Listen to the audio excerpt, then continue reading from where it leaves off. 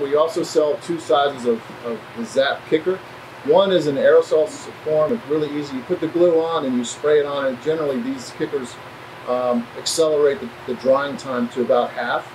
Um, another form is in, in, the liquid size, and um, and this can also be brushed on if you if you prefer. Uh, and so this, if, if, you're really concerned about the, the, the parts gluing fairly quickly, uh, this will this will accelerate them. It's uh, the Zip Kicker um, by Micro-Mark.